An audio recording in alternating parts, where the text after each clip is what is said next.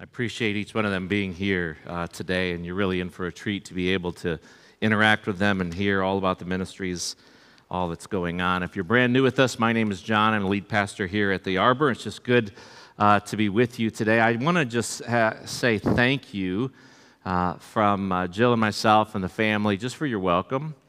I mean, we really have had a wonderful welcome in the last uh, couple of weeks. You've just been so gracious with your words and your gifts, and, and we really can't thank every one of you individually. And so we just thank you.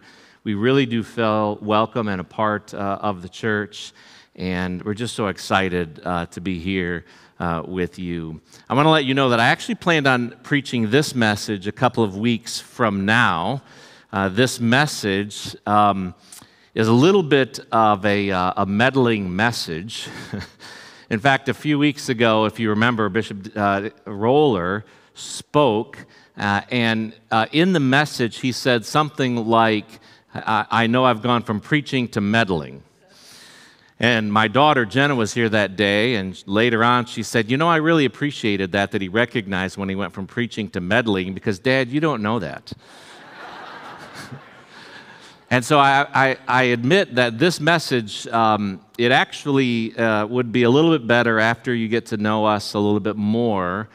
Um, but uh, because of the ministry fair, it just seems to really fit. And so would you just uh, open your heart in prayer with me because we want to hear from what the Spirit has to say today. Let's, let's pray. Spirit of God, we just set aside ourselves. We thank you for your gentle and yet persistent hand in our lives. And so we offer ourselves to you today. We look forward to what you're going to say. Uh, Spirit, have your way in every way. In the name of Jesus, we pray. Amen.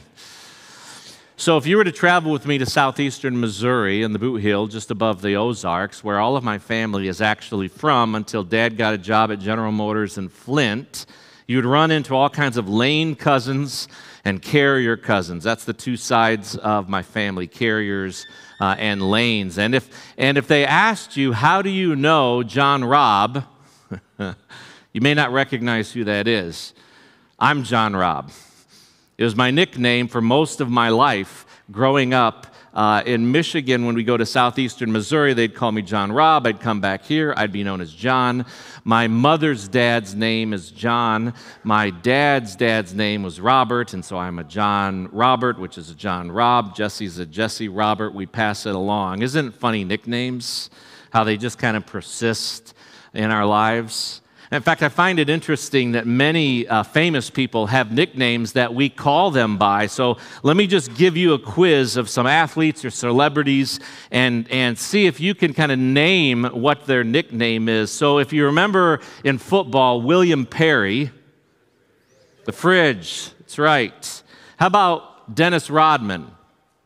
The worm, good. Karl Malone, the mailman. How about LeBron? King. Isn't that funny? The chosen one. Remember the baseball player Frank Thomas?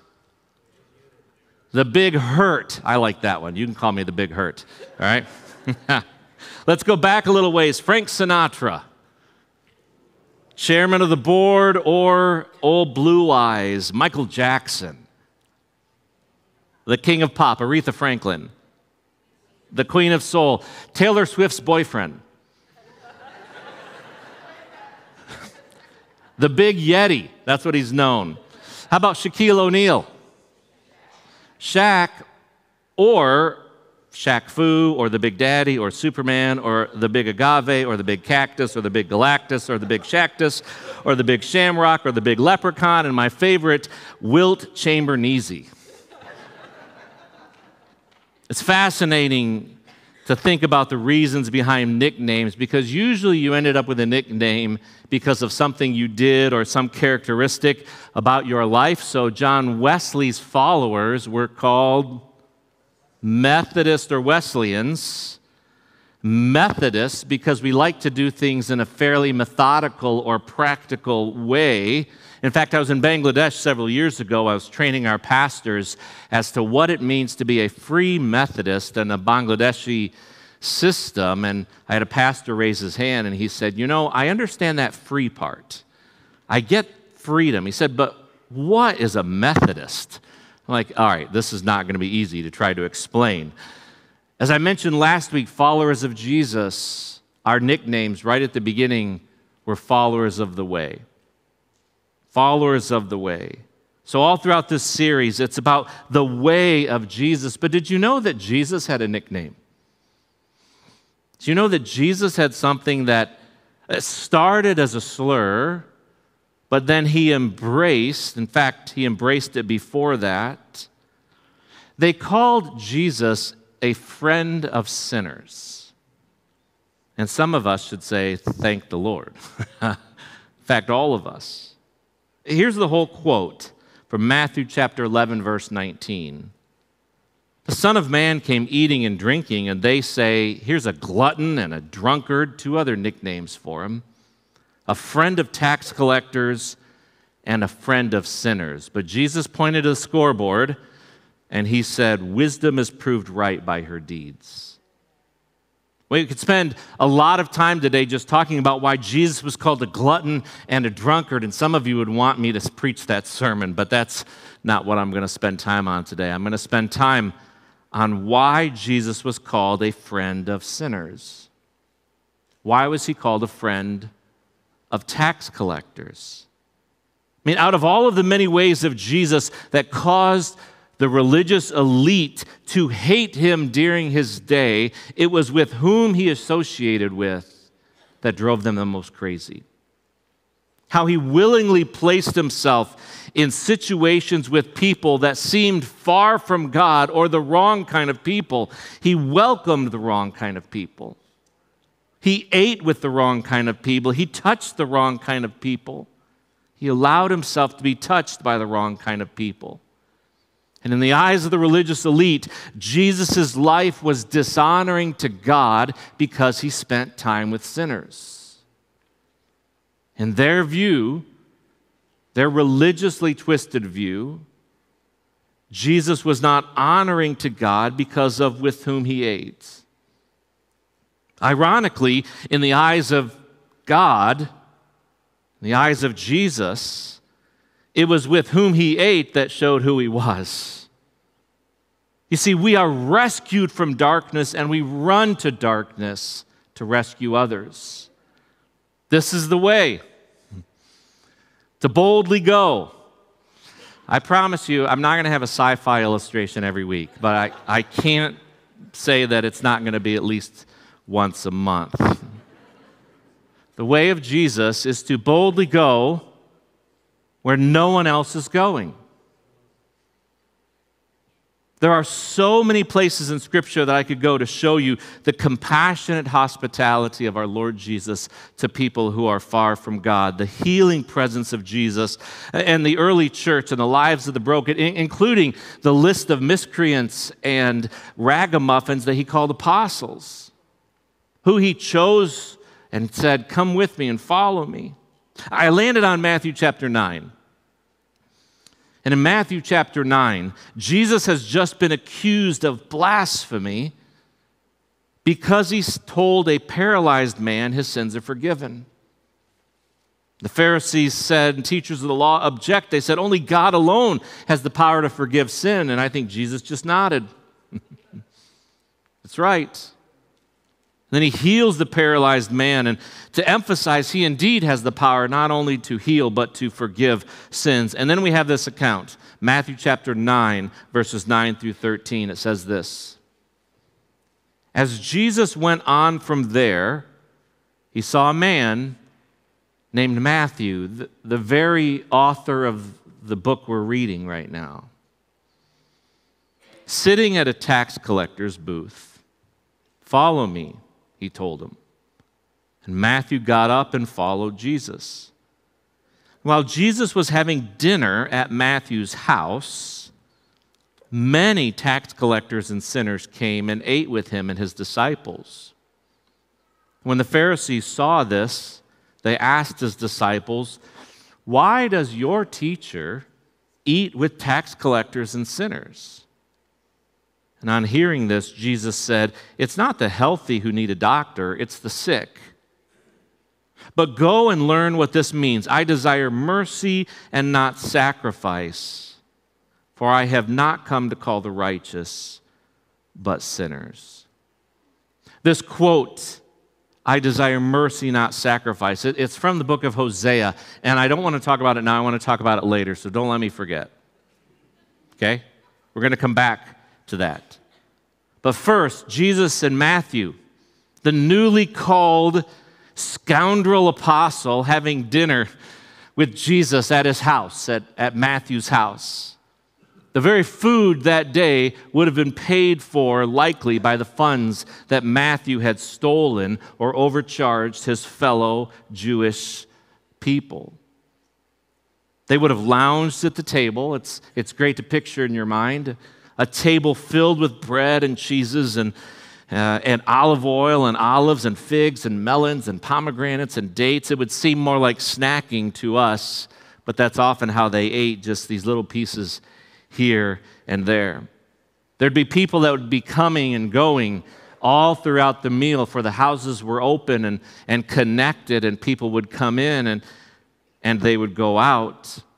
So, Matthew's friends, perhaps who are, are used to stopping in that night because he had perhaps the best food from all the money that he took from his fellow Jewish people, or they heard that that Matthew was hosting this local rabbi named Jesus, they would have stopped in and taken their place at the table. Or they would have stood on the outskirts of the room, just kind of listening in as Matthew served meat, most likely, even though that wasn't a normal occasion, but on festivals or whenever you have a special guest, surely Matthew had meat that night and there's conversations. And if you can imagine uh, people that normally aren't around the synagogue, they're not around uh, religious rabbi types, they get to ask questions that they normally don't get to ask because the synagogue wouldn't allow for these kinds of questions where someone could just raise their hand and say, Rabbi, why do you think this happened in my life? Or, or what does this mean? Why, why are we treated this way, perhaps by the religious elite? But picture this meal through the eyes of the Pharisees and the Sadducees and the teachers of the law. They would have heard this buzz coming from Matthew's house. And they would have thought, ah, there he goes again. Another worldly party. They get word, though, do you know who's at this one? That, that teacher, that, that rabbi, Jesus is there. Oh, what a drunkard. What a glutton scandalous. How can Jesus approve of these people and their lifestyle? Doesn't he know that his very presence approves of their life? And that's what I was taught growing up in the church. I was warned that my very presence with certain people would somehow approve of their lifestyle, and so we didn't want to associate with certain groups or in certain places because we didn't want to somehow be seen as, as giving approval. And dare I say, it seems more like the way of the religious church than the way of Jesus. I told you I was going to meddle. Jesus had the right and the power to turn down Matthew's invitation because it would have looked bad. He could have said no. He surely knew who was going to be there that night. He surely knew the interconnection of the tax collectors and sinners and this whole group. He could have said, You know, I, I think I'll pass on this. And I'm fully convinced some of the disciples tried to convince him to not go. But he didn't. And thank the Lord, because he also ate with you.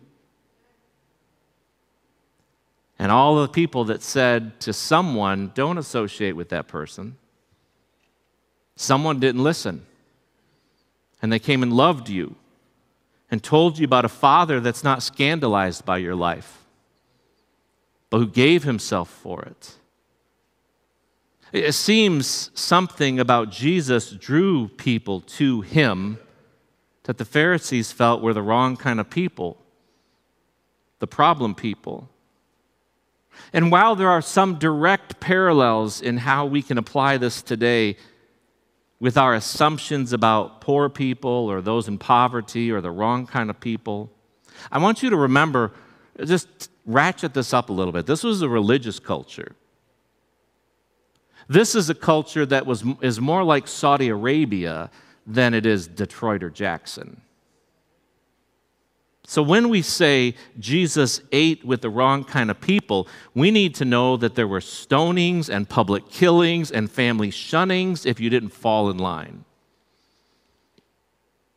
And Jesus decided to eat with the wrong kind of people. This was a choice, and not just a choice in ministering to these people, it was a statement about the way of Jesus. That this is what the followers of Jesus do. It wasn't virtue signaling. It wasn't like some TikTok star showing up to the shelter and having their picture taken. Jesus naturally pursues broken people, regardless of the cost. And then he taught us to do it as well because he understood something about what holiness and righteousness is, is about. For many of us, as we were growing up, we were taught that holiness and purity and righteousness is primarily about where you don't go and what you don't do. And Jesus turned it all on its head to show us that true holiness and righteousness, right living, if you will, is about with whom you decide to eat and actually where you spend your time. You may or may not know the name Marion Swanson. She's just an amazing teacher, amazing preacher she, she joined the, what's called the holiness movement, you know, the Nazarenes, Free Methodists, Wesleyans, this whole kind of group. She joined us later, just a five years ago. In fact, she even said from up front once, she said, I didn't know y'all existed. I didn't, do you know this word holiness? Do you know what it actually means? She said that holiness and purity is like bleach. Bleach doesn't do any good in the bottle. The purpose of bleach is to be poured out where it's needed most. That that's holiness, that that's purity, that that's righteousness. That the way of Jesus is to infuse hope in human suffering. Even if we don't know what the practical answer is for people. To infuse hope into human suffering and then call his followers to do the same. This is the way. Matthew chapter 9, later on, we have these words. Jesus went through all the towns and the villages, teaching in their synagogues, proclaiming the good news of the kingdom, and healing every disease and every sickness. When he saw the crowds, he thought, oh, another long line. Now, this is what he said. When he saw the crowds, he, he had compassion on them they were harassed and helpless like sheep without a shepherd. And he said to his disciples, Look at these people. A harvest, it's plentiful, but people that get it, it's few people that get this. So ask the Lord of the harvest, send out workers into this harassed and helpless harvest field. I'll tell you, this is a growing edge for me. It is. At the end of this last year, I was at one of our churches uh, in Indianapolis, and they do this practice of handing out a word for the year connected to an ornament. And then it may be the word that you want to choose for your life for the next year. So I'm hanging out afterwards. I didn't get a, an ornament, and so I got handed an ornament, and on it, it just simply says compassion. Compassion. And I have been wrestling then with my own heart, which at times just becomes hardened because of the pain and the thorns of life around us. Situations that seem almost impossible to find an answer for. Compassion is what Jesus seems to be calling me to. I mean, see, Jesus saw people, he felt pain for them he, he enacted this phrase that he had compassion on the crowd. It doesn't do the original language justice. The original phrase here means that Jesus hurt in the inmost part of his guts. He felt it in his belly, he felt his inwards moved by compassion. And I avoid that. I don't like that feeling. I turn the channel when I hear in the arms of the angels. I'm like, I don't want to see any other dogs suffering. I'm going to.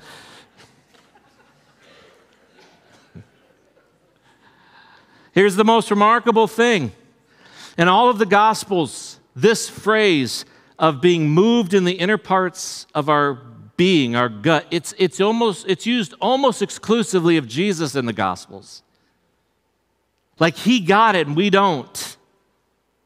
And when you understand that Jesus is the exact representation of God the Father, it goes even deeper. It means that the deepest feelings of mercy for people are felt within God Himself. It is mercy that draws us to Him, not rules. Where you and I look at a crowd of people and we generally see a headache for ourselves whether it's a line or traffic or some people group. Jesus feels deeply within himself compassion for people. And then he says, Go do likewise.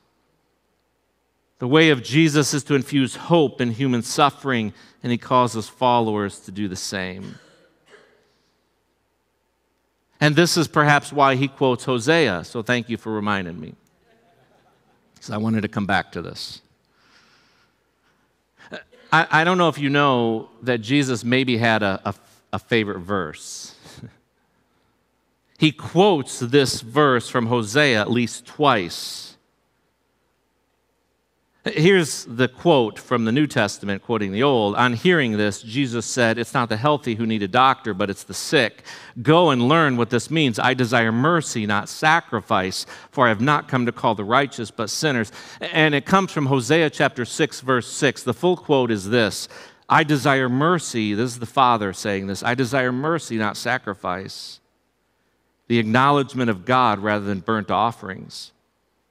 Jesus quotes it a second time in Matthew chapter 12, verse 7. He says, If you had known what these words mean, I desire mercy and not sacrifice, you would not have condemned the innocent. In this section, the Pharisees are angry with Jesus because his disciples were hungry on the Sabbath and they went around and they were knocking off the heads off of the wheat and they would grind them in their hands and they would eat these little pieces of grain and, the, and the, the Pharisees said, Don't you know that this is a Sabbath? You shouldn't be doing that. That's not being careful. Don't you know how mad God will be if we're not paying attention to not do these kind of things? It's scandalous, it's work. And Jesus said, Hey, have you read in Hosea where it says, I desire mercy, not sacrifice? I mean, what's going on here? Here's my best shot. This is what I think's going on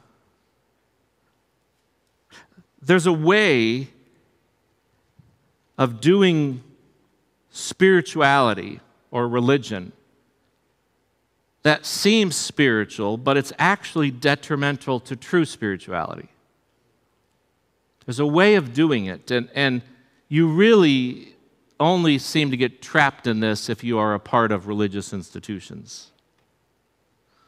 In Hosea's day, People were mistreating one another. They were worshiping other gods throughout the week. Their hearts were far away from God, but they were still coming to church. They were still bringing their sacrifices to the synagogues, to the temple. And they were being very careful and precise about their sacrifices for all throughout the law, we are taught that all the sacrifices needed to be pure without any defect of a certain kind of animal. And they were being very careful to make sure they were doing all of that right and then not caring how they were treating each other. I mean, sometimes it's just easier to be religious than it is to be in a relationship with God. Check the boxes of whatever boxes those are. But for when we are careful in our religion, we know the rules. And they are generally a bunch of don'ts. Don't associate with a particular kind of people. Keep yourself separate from them. Show up to worship service, even volunteer, and be very careful how you live your life. But Jesus is here saying mercy is more important than being careful. And this is not natural for us. Compassion and love and mercy is more desired by God than anything we can give Him as a payoff for His love. The way of Jesus is a more narrow pathway, he says. Not because the rules are more strict. We mistaught that for so long. The way of Jesus is narrow because it is foundationally a relationship of love, not a rule list to follow. And when you get close to the heart of God, you feel his compassion for all people. And then you too, like hot coals burning together, lean into compassion for all people too. It is far easier to be careful in our religion than compassionate in our practice. Let me give you another illustration of, of how this kind of worked itself out in the early church. Saul is persecuting the church. Jesus confronts him. He becomes Paul. He, he is, he's a Pharisee of Pharisees. He knows all the careful rules.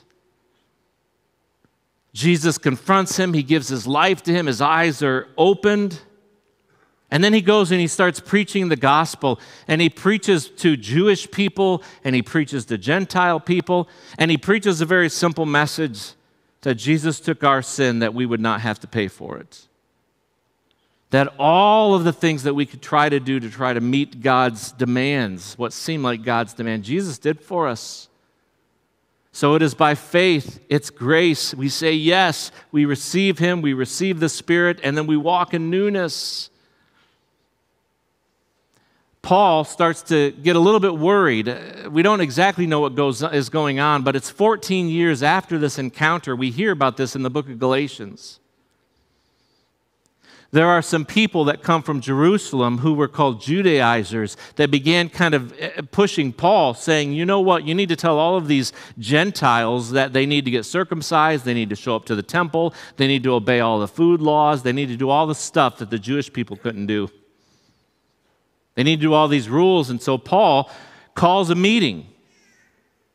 He gets a hold of John and Peter, and he gets a hold of James and the apostles in Jerusalem. He says, Can we meet? And he travels to Jerusalem and he lays out for them the gospel he's been preaching. This is what I've been saying Jews don't need to become Gentiles, Gentiles don't need to become Jews. Those are cultural things. What matters is following Jesus, being filled with the Spirit, and walking in newness. That's what matters. And John and Peter and James said, That's it. That's the gospel. But I want you to hear they added something else that's not actually an addition, it's a result. Galatians chapter 2, verse 9 through 10, it says this James and Cephas, or Peter and John, those esteemed as pillars, they gave me and Barnabas the right hand of fellowship when they recognized the grace given to me, and they agreed you get it right. You go to the Gentiles, we'll continue to go to the circumcised, or the Jewish people. But all they asked, all they asked was that we would continue to remember the poor. The very thing, Paul says, that I was eager to do all along. Don't miss this. They have this meeting of the apostles and, and, and they're wrestling about what is the gospel and, and what does it that we're proclaiming to a religious world and a non religious world. What is it that Jesus did for us? Oh, by the way, he taught us to love the poor. Don't forget it. And Paul says, Why would I ever forget it? And we jump 2,000 years, and I could say, I can tell you why we'd forget it. Remember the poor. This is the apostolic teaching, folks. In a, in a day, decades ago, I could say, Thus saith the Bible. Remember the poor. Paul's response is yeah, why would I forget him?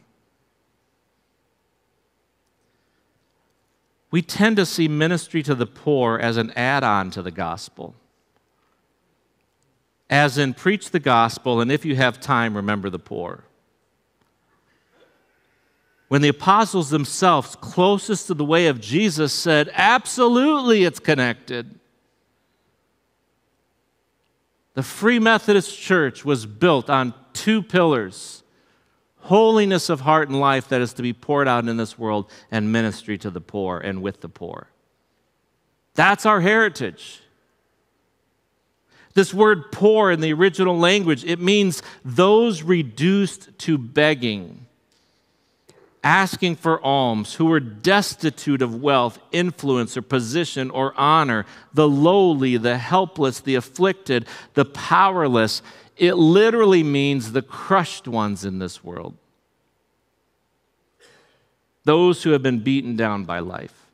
And that can be financially, it can be relationally, it can be spiritually, it, can be all sorts of things. But I'll tell you, what a promise. Remember the crushed ones. And some of us are like, thank goodness, because I was crushed. And I heard, you're not forgotten.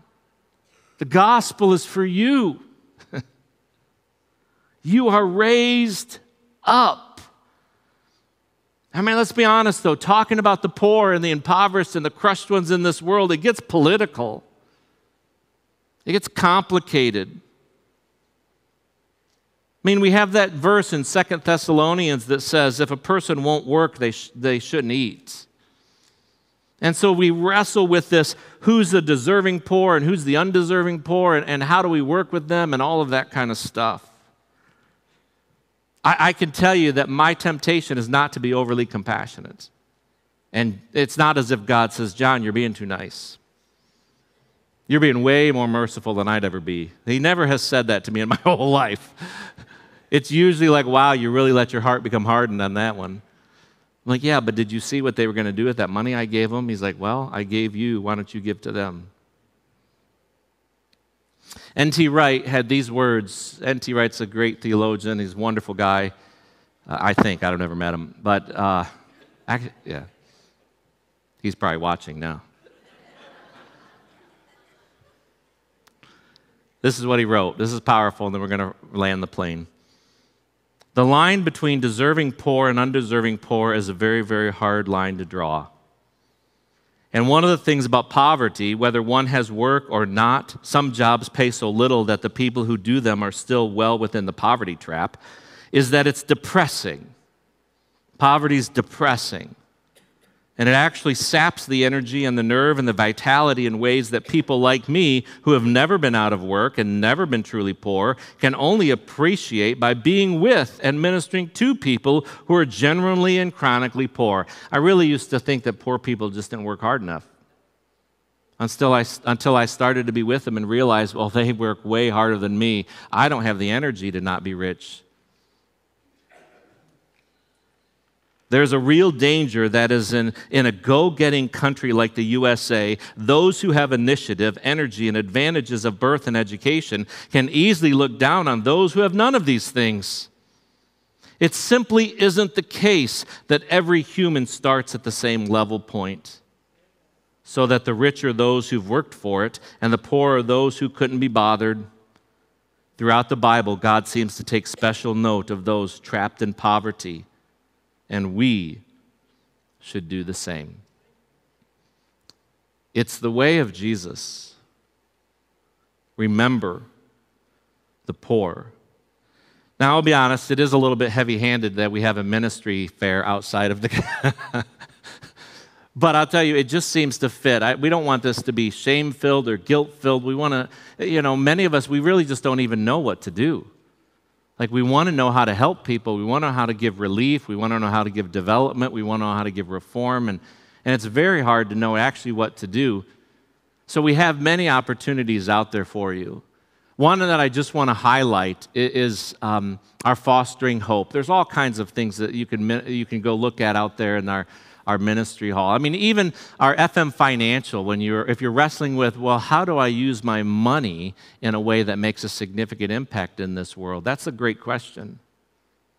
But on March 17th, Fostering Hope we're going to have a gathering for people that may be interested in being a foster parent. And really, according to James, true religion is ministry to the fatherless and to the widow. That that's the result of what it means to be a follower of Jesus. You may not know this, but there's way to do, get involved in foster parenting and foster helping that's not simply taking a child into your home. Many foster parents actually cannot leave uh, the state with that child because of laws about taking kids across state lines. And so, if they're going to go visit family in another state, they need someone else to watch that foster child. And so, it's a way to dip your toe in, so to speak, into the care for foster children, children in the system. And so on March 17th, we're just going to have an introductory meeting, and you don't have to sign up for uh, sign up once you've been in it. But if you're interested and the Lord sparks your heart, see Matt out there, see the table out there, because fostering hope's a great possibility. Did your phone ring this morning about 2 a.m.? There's an Amber Alert. And in Detroit, there was a little girl that was, that was in the back of a car, her parents' car, and someone stole that car. Little three year old girl. And an Amber Alert went out, and my phone went off. 2 a.m., I'm like, oh, who's texting me? You know? And then I look, and immediately I thought of this message. What do you think the mother was thinking at 2 a.m.? I don't care if you're asleep. Get up and pray or look for my kid. Now, praise the Lord, she was found this morning. They found her and she was returned. But what did the father think at 2 a.m.?